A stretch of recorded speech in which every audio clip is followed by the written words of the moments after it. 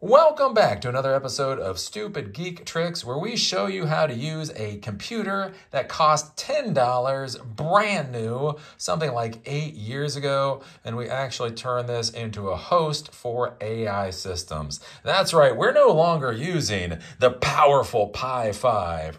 We are actually using a Raspberry Pi Zero W version 1 with the, uh, with the nefarious uh, ARM v6 uh, architecture. So, uh, so this is actually pretty cool. So this is this is the little computer. So this is a full-fledged computer. Has a single core, one gigahertz processor. Has 512 megs of RAM. I think it has an 802.11n uh, uh, wireless connection. And basically, this is kind of the system that we set up before for the Raspberry Pi uh, 5. Uh, so we have a microphone here off of one of the dongles. Again, this is truly dongle hell here. Uh, but we have a Raspberry, or we have a microphone here.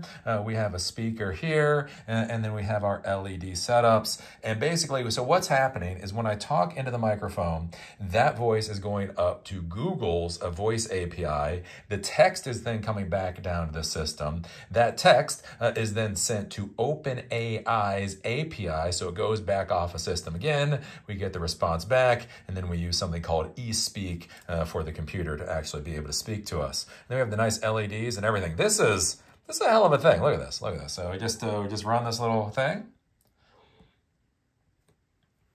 Takes a second. It's a potato. There we go. How much chuck could woodchuck chuck if a woodchuck could chuck wood?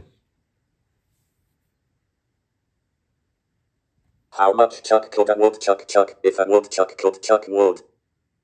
A woodchuck would chuck as much wood as a woodchuck could chuck if it could chuck wood.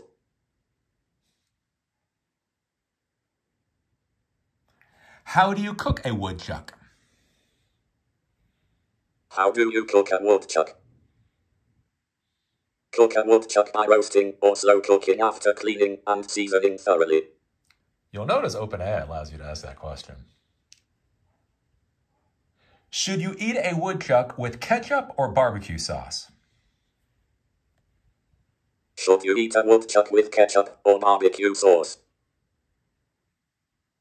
Eat a woodchuck with barbecue sauce for a sweeter, smoky flavor that complements the meat better than ketchup.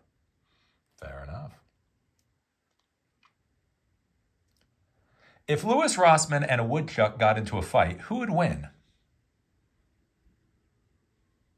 If Louis Rossmann and a woodchuck got into a fight, who would win? Louis Rossmann would win with his tech skills. Woodchuck's fight isn't nearly that tough. Look at that. So basically, this is all, you know, we have this little thing running, running uh, off of this device. And so this is the power. When I talk about systems architectures, I think a lot of people don't quite grasp when I'm talking about systems architectures.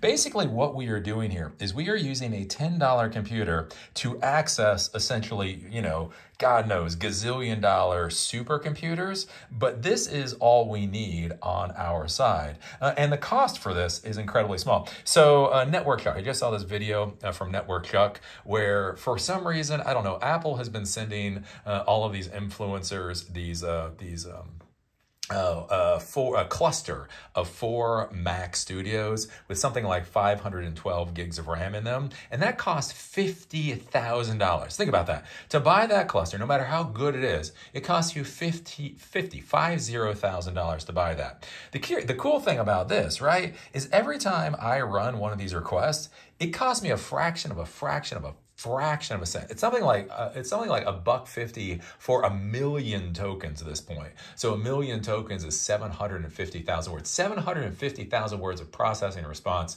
costs you a buck fifty.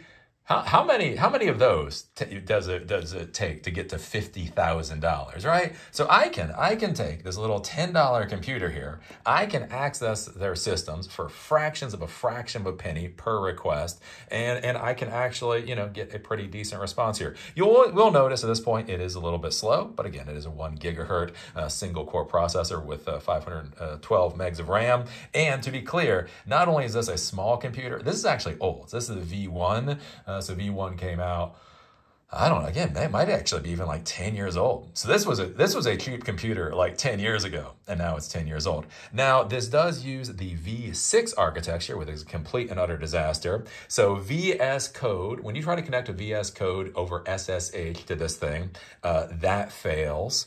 Uh, what else did we have? We had some, oh, web browsers, a no, no mod modern web browser will run on this thing because of V6 architecture. And also, one of the weird, weird things is the uh, OpenAI module, the Python module actually fails being installed on this thing. Again, for some reason, because of that V6 architecture. Uh, I, I did just order to, um, of the uh, version 2 uh, of the Raspberry Pi Zero W. So they come with a V8 architecture, so that will hopefully fix that kind of problem. But the way you get around that is uh, it's, it's called curl. There's something called curl. Basically, with curl, you can use essentially a URL. It's kind of like a post or a get, sort of. more complicated. But anyways, along those lines, essentially the idea though is you can simply use a request module or a curl module if you want to do it. And basically you can make the request that way. Uh, so what I did here is instead of using the OpenAI module to connect to OpenAI's AI's API, I used curl to do that. This is also uh, the important thing with understanding what a technology professional is, right? Understanding how to use the OpenAI module is relatively simple. Understanding how to use curl is relatively simple simple. Understanding Linux is relatively simple. Why we get paid what we do and what we, we actually do is we figure out what tool is required with the resources that we currently have, right? So I try to install the OpenAI module onto this and it failed. So I don't, as a technology professional, I don't, I don't get to say, okay, whatever, it failed, I'm leaving. No, I got to figure out how to make this thing work. And so that's where it's like, okay, well, if the OpenAI module failed, what other way can I use to connect uh, to their services? And then I realized that I had seen that they had some documentation for curl. Normally I don't worry about curl because it's fucking curl. I don't worry about it. Anyways, but hey, curl, curl, curl uses the request module. That's a different thing. So maybe curl would work. And so that's what I tried and now it works pretty well. So anyways, uh, there you go. If you uh, if you want to learn how to uh, barbecue your woodchuck, you too can create this project. These are this uh, I am literally building this particular project uh, for the uh, Silicon Dojo class that we have, coming up on January seventh. Again, basically we're we're doing the class on pushing AI to the edge uh, using Raspberry Pis, and the idea here isn't specifically the Raspberry Pi one way or the other, but it's the the concept of how do you design artificial intelligence systems using like no fucking resource like no resources. Like to call this thing a potato, this is a mini, this is a mini old potato, right? This isn't $50,000 uh, cluster from Apple. This is a, this is a 10 year old potato. How do you actually do something worthwhile with this? And so this is the kind of stuff that we teach at Silicon Dojo and the class that's coming up. Anyways, with that, see y'all later. I'm very excited, very excited. I got this little thing working.